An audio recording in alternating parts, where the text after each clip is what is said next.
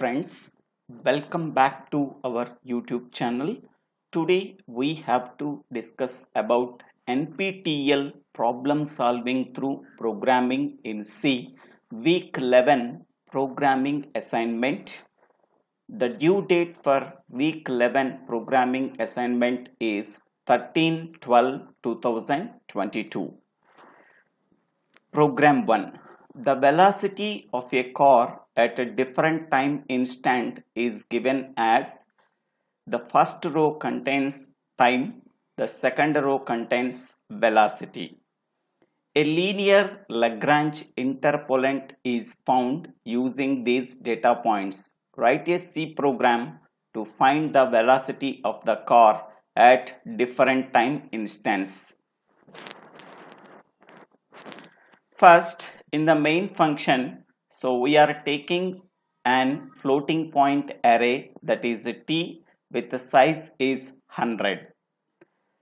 That floating point array t can be initialized with 10, 15, 18, 22, 30 and we are taking another floating point array that is v with size is 100 but initialized with 5 elements 22, 26, 35, 48, 68 and another variable a can be declared as floating point variable. Now, so that variable a can be defined as the test cases that how many number of test cases you want that value can be read from the keyboard by using scanf function. Next one i and j variables can be declared as integer variables. B c can be declared as floating point variables. And k value also declared as a floating point variable uh, and that can be initialized with a zero. Okay so this is the lagrange interpolant uh, logic. Okay so once we are writing this uh, logic so after that the respective value of the variable b is printed. K value is printed. So now save as a draft. Click on compile and run button. So compilation passed. Public test cases 2 by 2 passed. Next test case 1 input value is 25 expected output is the respective value of the variable b is 56.42 actual output is the respective value of the variable b is 56.42 both actual output and expected output both are equal then we can say that status is passed. Next public test case 2 input value is a 16 the respective value of the variable b is 28.74 the respective value of the variable b is 28.74 both actual output is equal to the expected output. Then we can say the status is passed. So after that click on submit button. So see this one test case 1 is passed. Now we can go for another program. So whenever you require that uh, code that code can be written in comment box. Please use that code in the comment box whenever it is required.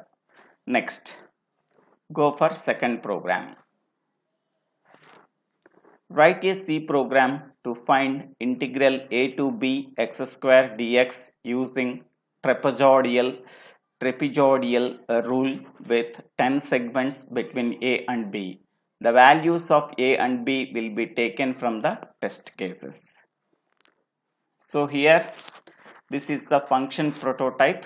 In the main function variable n can be declared as integer variable that can be initialized with 10 so that means n is equal to 10 means 10 subintervals.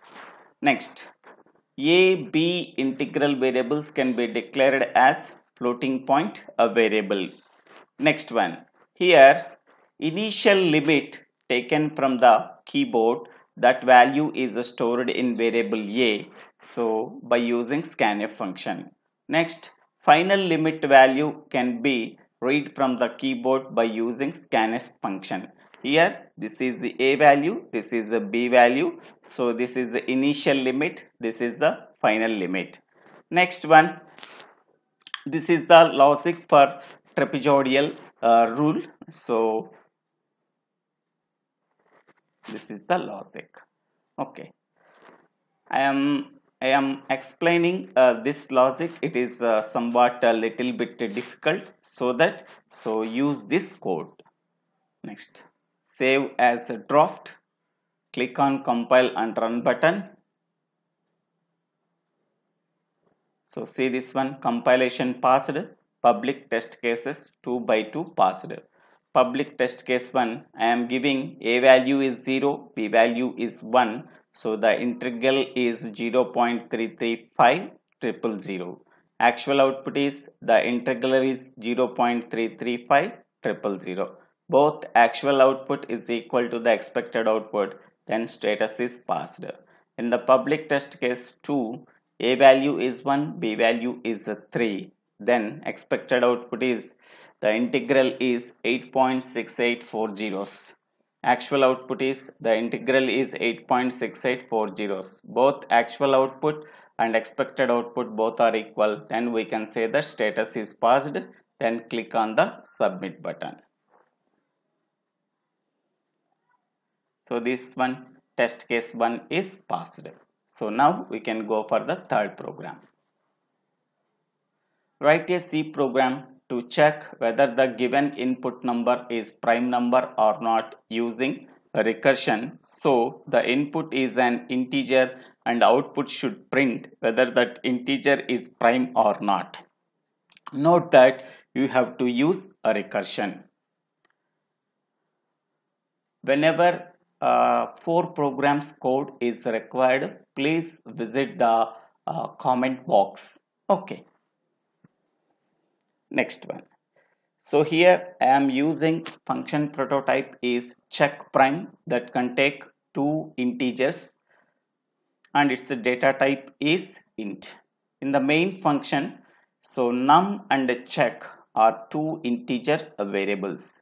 Num variable value can be uh, read from the keyboard by using scanf function and this is the calling function that calling function can take two parameters.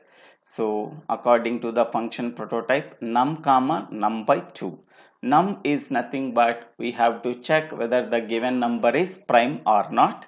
And the second parameter is that number is divided with 2 next one. If check equal to equal to 1 suppose here this check value is equal to the 1 so we can say that printf percentage d is a prime number. So if check value is not equal to 1, condition is failed. So then control goes to the else block and printf percentage d is not a prime number.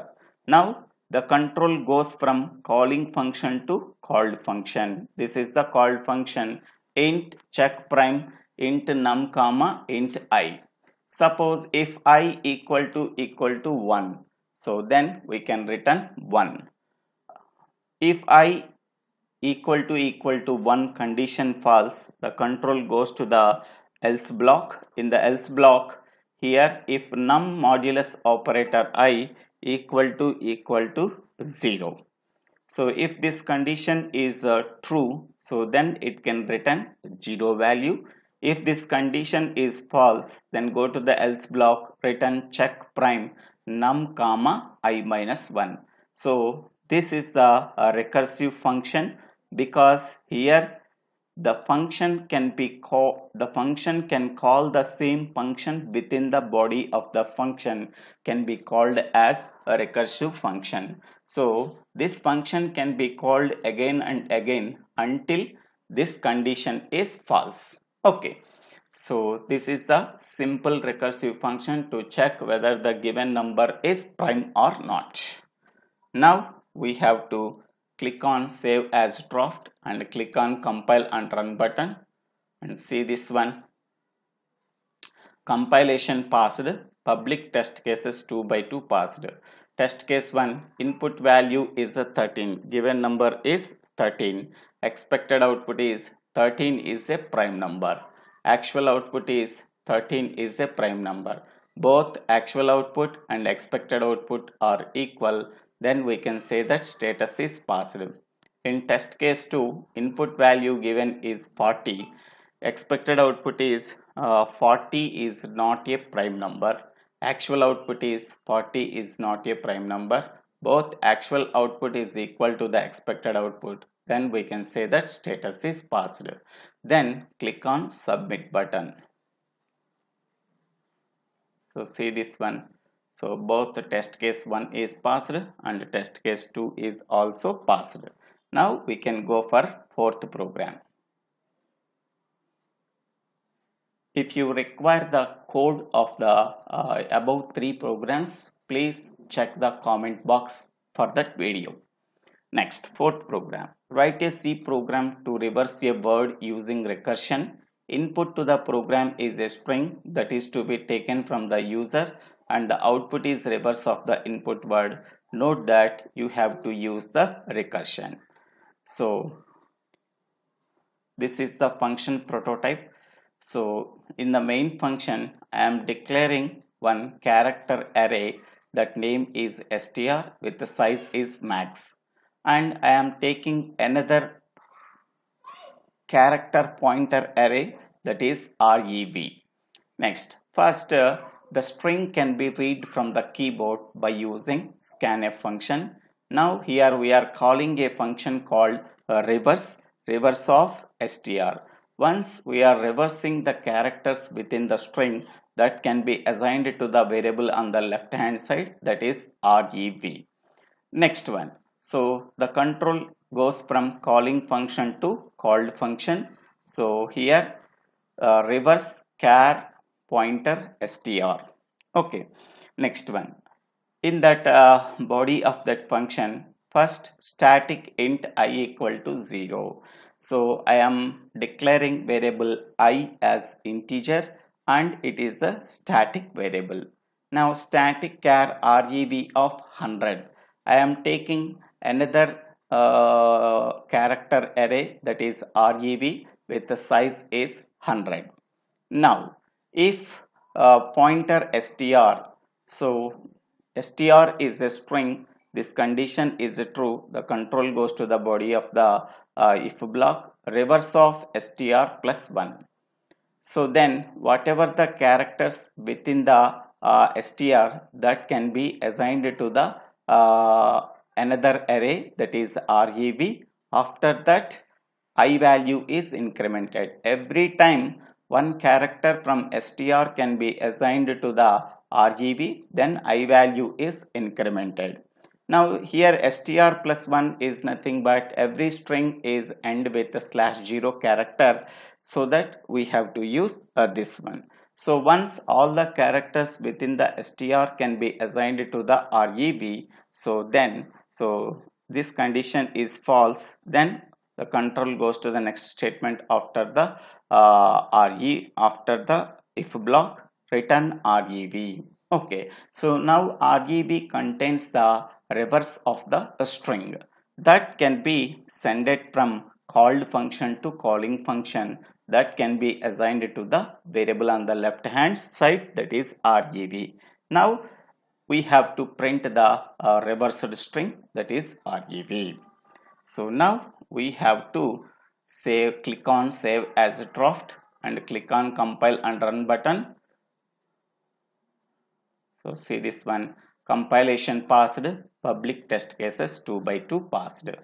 Uh, here uh, test case 1 input given Kharagpur expected output is the reverse string is RUPGARAHK. Actual output is the reverse string is RUPGARAHK. Both actual output and expected output are equal then we can say that status is passed.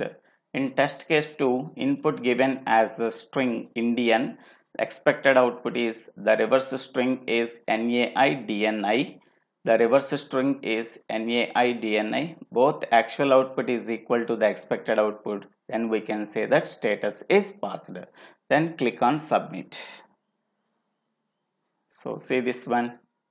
Test case 1 is positive okay. So this is the week 11 programming assignment that contains four programs now this four programs code is available in the comment box of the corresponding uh, video. So thank you friends. If you really like this video please click on the like button and share this video to your friends and classmates.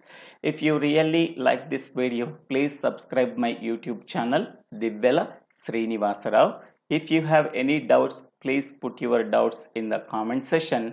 I will try to clarify your doubts. In the next video, I am giving week 11 assignment answers. Okay, so waiting for that video. Thank you. Thank you for watching this video. After subscribing my YouTube channel, click on the bell icon to get the future updates in my YouTube channel. Thank you. Thank you one and all for watching this video.